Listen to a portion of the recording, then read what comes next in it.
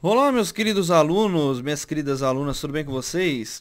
Vamos para mais um estudo de mercado, onde eu vou mostrar para você nesse vídeo como você pode fazer para encontrar no seu gráfico as melhores regiões para você operar segundo o meu operacional baseado em análise técnica purista. Vou mostrar para você nesse vídeo passo a passo para encontrar no seu gráfico pontos que te ofereçam uma alta lucratividade, um baixo risco e uma altíssima taxa de acerto em suas operações.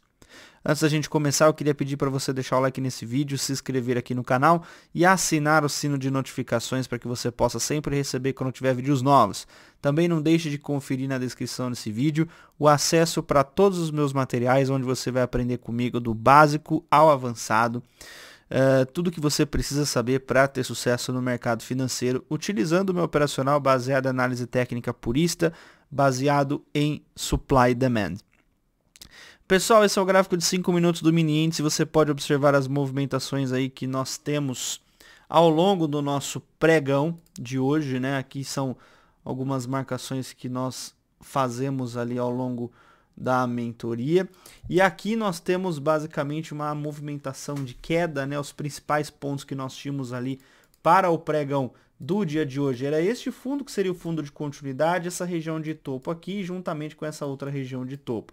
O mercado estava vindo no movimento de baixa, como ele estava vindo nesse movimento de baixa, a prioridade estava em focar nas regiões de topo aqui em cima. Essa região aqui também existia uma região que nós chamamos de equal highs, ou seja, topos duplos, em que o mercado poderia estar utilizando esse ponto para capturar liquidez aqui dentro dessa região e foi exatamente o que aconteceu aqui nesse movimento uh, do meio aí da manhã, tá? Bom, basicamente mercado em tendência de baixa, uh, principais pontos de atuação a gente estaria buscando ali um teste no nosso choque, que seria essa região superior.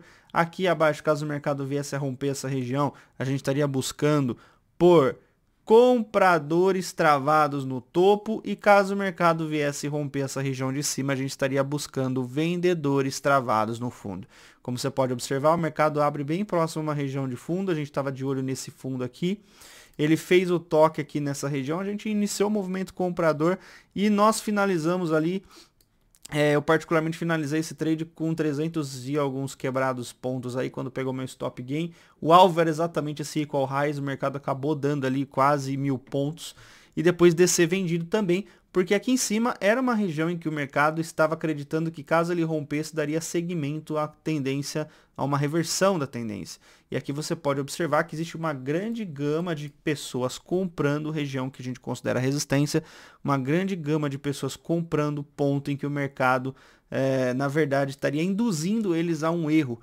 Então aqui você teve, se eu não me engano, 23, 25 e 29 mil contratos comprados aqui nessa região. Quando o mercado chegou aqui num ponto uh, extremamente importante, foi feita a, a movimentação aqui do tal do comprar um pouquinho para vender de montão. Aqui também é uma outra região em que a gente tinha até o, o, presente momento, né, o mercado rompeu esse último topo. Essa tentativa frustrada da compra de jogar o preço para cima também virou liquidez, virou um movimento de stop aí para quem estava, uh, virou na verdade é, movimento impulsivo, né, com o stop gerado aí por essas movimentações de compra aqui também, mais uma vez, em região de liquidez. E aqui, claro, quando o mercado rompe, o mercado atua agora essa região como sendo uma swap zone, muita gente comprando, muita gente comprando, então esse dinheiro precisa estopar alguma hora.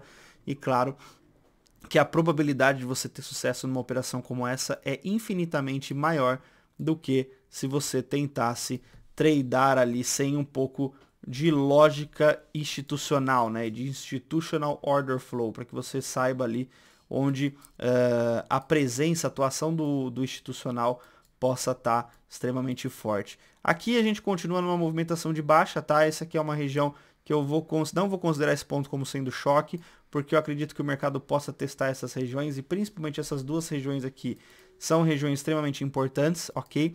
Lembrando a todos que a tendência principal do índice ali, se a gente for pegar gráficos grandes de 240 uh, e até 60 minutos, é uma tendência de alta. O mercado está fazendo simplesmente uma mitigação desse ponto até essa região de liquidez aqui de baixo. Ó. Então esse ponto é um ponto extremamente importante que o mercado pode chegar ali amanhã, principalmente porque hoje ele já deu uma bitoquinha ali nesse ponto, então a gente precisa entender como vai ser o comportamento do mercado. Por que, que eu não vou acionar, por que eu não vou é, interpretar isso como sendo choque? Porque a gente tem que basicamente analisar esse movimento aqui que nós chamamos de liquidity void e o mercado ele normalmente vem para suprir esse movimento, essa liquidez, esse desequilíbrio que ocorreu aqui. Então eu acredito que o mercado ainda possa testar essa região superior antes de eventualmente iniciar um movimento de alta, tá? Mas caso o mercado rompa essa região de estrutura, obviamente você vai aguardar ele retornar numa região de interesse para depois você buscar um movimento de alta até aqui, que inclusive vai virar um movimento para você vender, muito provavelmente, tá? Porque a tendência aqui que nós temos nesse gráfico é uma tendência de queda. Claramente o choque é essa região e aqui a partir daqui você vai buscar uh, vendedores travados no fundo, a partir daqui você vai buscar compradores travados no topo e claro o teste de choque será feito aqui dentro dessas regiões aqui, tá?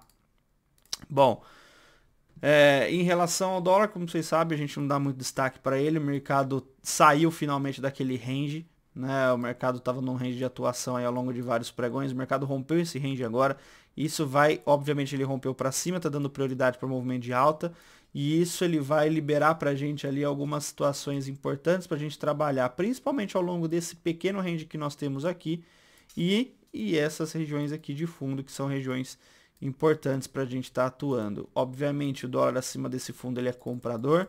Caso a gente tenha aqui o rompimento para dar continuidade à tendência, você vai focar ali em, em identificar vendedores travados no fundo e caso o mercado perca esse choque que você vai identificar compradores travados no topo. Beleza, pessoal? Muito obrigado a todos, um grande abraço para vocês, fiquem com Deus e até a próxima.